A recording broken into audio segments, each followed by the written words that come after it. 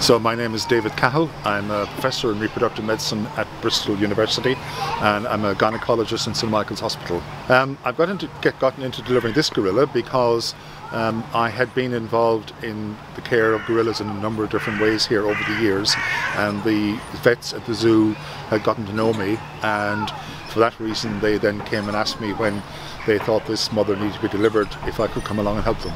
So the mum is Kera, she's one of our breeding females here at Bristol Zoo. Uh, it's the first time she has been pregnant here at Bristol, so she's a first time mum. Uh, so we were monitoring the pregnancy really closely. Um, gorillas cycle just like humans do, so they have an estrous cycle, so kind of predict a birth date about. so we kind of knew she was due soon, so we were watching her quite closely. Um, but kind of towards the end um, of her pregnancy, we saw you know that she was beginning to look a bit uncomfortable, and she was showing some signs of ill health, um, and that's when we made the decision to intervene.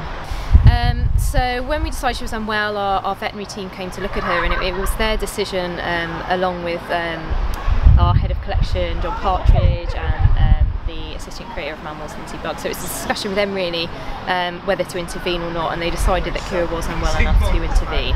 And at that point, that's when the veterinary department contacted the University of Bristol so that they could bring in experts. Um, who obviously do this kind of thing every day um, that could come and help us out with the C-section. We didn't actually make the decision to, make, uh, to do the C-section until Kera was actually under anaesthesia uh, and we assessed her condition on the table and that's when we made